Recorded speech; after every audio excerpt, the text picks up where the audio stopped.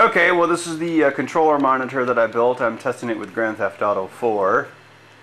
Uh, yeah, basically what this does is it uh, has a visual indication of when the buttons are being pushed by the users. And it is uh, done at the hardware level on the controller, so uh, it uh, kind of cuts out the middleman, so to speak. So you know exactly when people are pushing the buttons. Independent of the game itself. And then the analog triggers, as you can see, have a, a variable bar graph of sorts, depending on the pressure and the left one has it as well. And then the buttons are also color coded to match the, um, I'm sorry, the LEDs are color coded to match the buttons, just to make it a little easier. And we got the D-pad in there too, right, bu right bumper, left bumper. So uh, yeah, that's the intention is to uh, provide a uh, very visual display of when the buttons are being pushed by a test subject. And of course, you know, persons can videotape it and analyze the footage.